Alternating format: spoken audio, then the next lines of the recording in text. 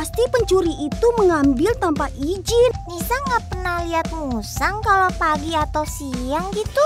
Di sini lebih banyak lagi yang sudah bekas gigitan. Maaf, kalian nyariin aku ya? Emangnya Chandra tadi ke mana wae?